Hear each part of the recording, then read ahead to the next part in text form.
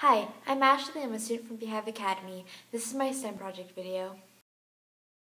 Invisible ink is really simple chemistry. Basically, when you write your piece of paper with lemon juice, which is organic acid, and then you let that dry and you put heat underneath, uh, the heat is going to decompose the acid and you're left with carbon.